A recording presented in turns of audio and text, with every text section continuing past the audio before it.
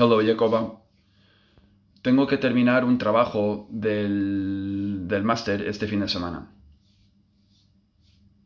I have to finish an assignment for the MBA this weekend. I have to finish an assignment for the MBA this weekend. Okay, pronunciation debt, debt, bank account, bank account, sales volume, sales volume. Ah, Let's see. Ellos quieren buenas críticas o buenas reseñas. They want good reviews. They want good reviews.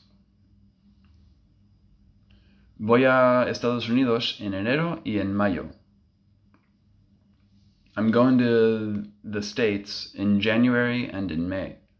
I'm going to the States in January and in May. Si nos hubieras visto, if you had seen us, if you had seen us. All right, that's all. Bye bye.